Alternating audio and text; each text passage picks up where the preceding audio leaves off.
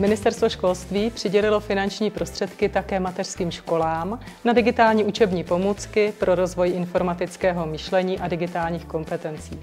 Paní ředitelko, řekněte mi, jak jste se vypořádali se stanoveným účelem a jaké digitální učební pomůcky jste pro ty nejmenší děti pořizovali?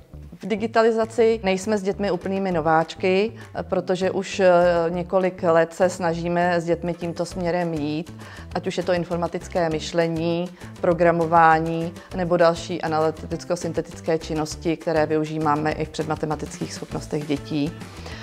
Proto jsme eh, sáhli po pomůckách, které nám v tom spektru chyběly, kterými jsme chtěli doplnit už to, co u nás ve školce funguje. Takže to byly nejen programovatelné robotické hračky, ale třeba i digitální mikroskop, lupa a podobné věci. My tady budeme mít robota, který dokáže podle našich příkazů správně položit tady ty hračky na správná písmenka. Myslím si, že děti eh, nepotřebují začínat eh, vyloženě počítači a tablety. Začala bych například čtvercovou sítí, na které bych právě řešila různé logické eh, úlohy, ty předmatematické představy, kreativní myšlení rozvíjet a tak podobně. Pak bych přešla na robotické pomůcky a pak teprve bych přešla k digitálním technologiím. Na čtvercové pochozí síti rozvíjíme informatické myšlení a digitální kompetence. Děti zažívají veškeré aktivity prožitkem, takže se stávají roboty, ale i programátory. A zase můžeme robotovi zatleskat, protože se mu to povedlo. Tady jsme na čtvercové pochozí síti se věnovali před matematickým představám a kombinovali jsme dvě kritéria. Ve sloupci jsme řešili velikosti, a v řádku jsme řešili tvar. A tady slečny velmi hezky vyplnili, pracovali krásně s informacemi a povedlo se jim tato kritéria eh, kombinovat a splnit.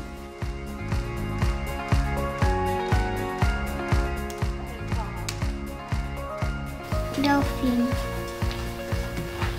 Delfín skákavý. Tak napíšeme, jo. Jedna, dva.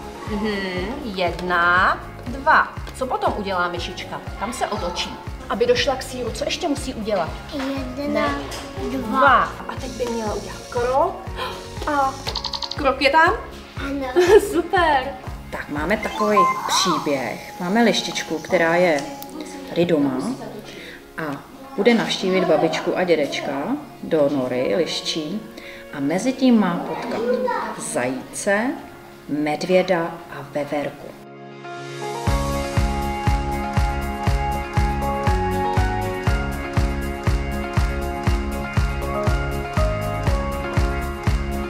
Kluci, paráda.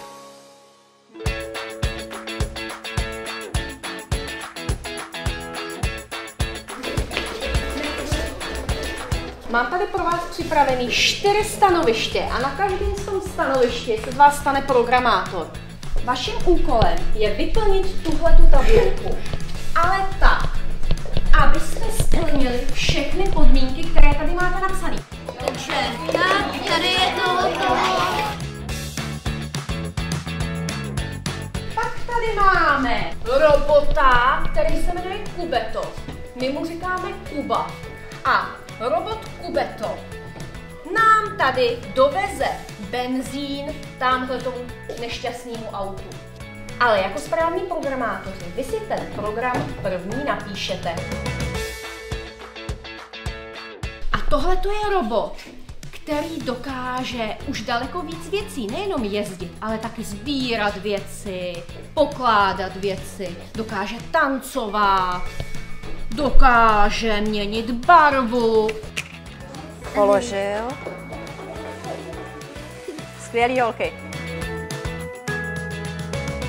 Paní ředitelko, co byste vzkázala všem školám, které teprve začínají? Máte vlastní zkušenost, tak co by mohli od vás uslyšet ředitelé škol, ICT koordinátoři, učitelé? Jak by měli začít? Tak určitě je dobré si vytvořit nějaký strategický plán. Určitě je fajn si zjistit třeba s fotkou, s analýzou, co vlastně chtějí ty učitelé, děti, ze všech různých směrů poskládat si, co vlastně, po čem mm, vlastně volají, co, co je vlastně to, co by ocenili. Pokud někdo není úplný odborník, jako třeba já nejsem úplný specialista, je dobré se obklopit lidmi, kteří tomu rozumí. Jak digitální učební pomůcky proměňují obsah vzdělávání? Myslím si, že se eh, hodně eh, tento obsah změnil a hodiny jsou mm, zajímavější pro děti. Je tam více individuální přístup, eh, každý pracuje na svém zařízení a pro děti je to velice atraktivní, zábavná forma výuky. Jako ICT koordinátorka, jak jste se vypořádala s novými finančními prostředky? Co vás napadlo, že musíte udělat jako první? S kým jste se radila? Povídejte. Tak já jsem nejdříve si dělala takový průzkum trhu, co vůbec je možné zakoupit. Eh, nastudovala jsem materiály a eh, potom jsem teda vybrala, že nejdříve půjdeme cestou eh, těch základních digitálních pomůcek Chromebooky. Radila jsem se se specialisty a také s ICT koordinátorkou středočeského kraje. Teď se můžeš podívat třeba tady do obrázku. Díky právě práci koordinátorky ICT víme, že je tady spoustu platform, které nabízí školení a informace zdarma školám. Existují i roboti, které jsou transparentní. Děti vidí eh, čipy a kabely, aby viděli, jak ten robot eh, funguje. Rozvoj informatického myšlení, digitální kompetence, v čem vidíte smysl? Eh, jakým směrem bychom měli jít v tom hmm, vzdělávání? Tak samozřejmě jsou tam, řekla bych, dvě strany. Na jednu stranu potřebujeme tyto kompetence ke své práci. My všichni, my se už eh, vlastně se bez eh, chytrých eh, telefonů, aplikací a různých digitálních zařízení v podstatě neobejdeme a myslím, že ty děti by na to měly být připravené, když svět vlastně v podstatě jede v online prostředí a v digitálních kompetencích.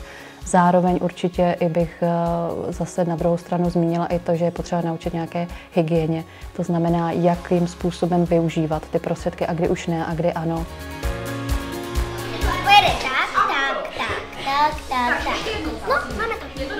I vy si můžete pořídit ty nejlepší digitální učební pomůcky pro vaše děti, žáky, učitele a inspirovat se můžete tímto videem nebo na webových stránkách edu.cz digitalizujeme.